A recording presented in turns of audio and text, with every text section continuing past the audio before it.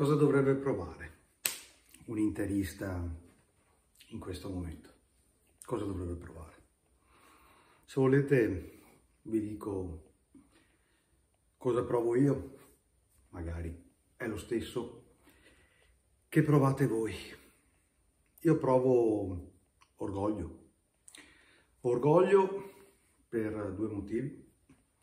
Per essere arrivati fin qua nonostante un girone dantesco, nonostante due partite Porto e Benfica che sembravano facili, ma col cazzo che lo erano. Orgoglio per aver um, eliminato i nostri rivali di sempre, ma orgoglio soprattutto per um, aver reso questa partita una partita equilibrata. Se invece che a calcio si fosse giocato a box, si fosse tirato di box, avremmo vinto noi ai punti. Perché, ragazzi miei, il pareggio era più che meritato. Io devo fare una manifestazione di orgoglio soprattutto nei confronti della nostra difesa, perché il signor Haaland, miglior attaccante del mondo, secondo i sapientoni, è ancora nella tasca di acerbi e di bastoni. Non ha fatto assolutamente nulla, ha fatto cagare. Cagare.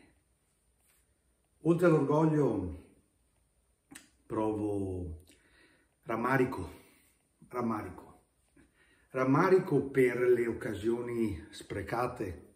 Una, quella di Lautaro, drammatica perché aveva sia Lukaku che Brozovic a cui passarla, ma in quei momenti l'istinto del bomber prevale sulla razionalità. E poi ragazzi, la sfiga. La sfiga perché qui non si può parlare di errore, non si può parlare di gol mangiato, si può parlare solo di sfiga. Quando tu fai un colpo di testa che colpisce la traversa, ti ritorna in testa e col colpo di testa colpisci un tuo compagno fatalità Lukaku, il quale nell'ultima finale europea che avevamo fatto aveva fatto la stessa cosa.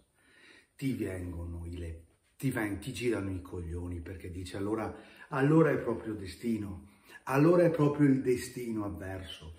Per non parlare poi del colpo di testa di Lukaku a 30 centimetri dalla porta che va a sbattere esattamente sul ginocchio del portiere avversario di Ederson. Orgoglio, rammarico, orgoglio e rammarico. Però una cosa ve la dico, Ragazzi, io quest'oggi mi sento ancora più interista rispetto a ieri. Mi sento ancora più interista perché ho visto una squadra in campo che non aveva nulla da invidiare alla miglior, miglior squadra d'Europa quella che si è portata a casa la Champions. Non dico, per carità, immeritatamente, ma noi non usciamo a testa alta, usciamo a testa altissima. So che ci sfotteranno per questo, so che non conta nulla uscire a testa alta da una finale, però ragazzi, però ragazzi, che li abbiamo fatti vedere i sorci verdi. Meritavamo il pareggio, meritavamo forse anche la vittoria, meritavamo di più, meritavamo di più. Però è andata così, ragazzi, è andata così. Non c'è delusione, assolutamente. Io sono orgoglioso di questi ragazzi, come tutti noi interisti dovremmo, dovremmo essere, perché quella squadra lì ci ha fatto sognare. Ci ha fatto sognare per 90 minuti.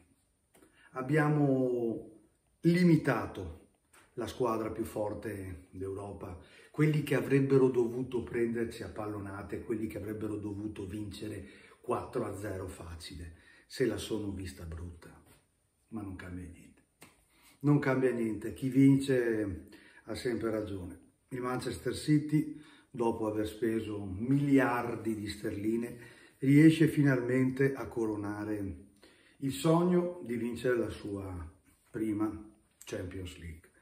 Noi andiamo a casa orgogliosi, noi andiamo a casa distrutti psicologicamente, rammaricati, ma senza dubbio orgogliosi.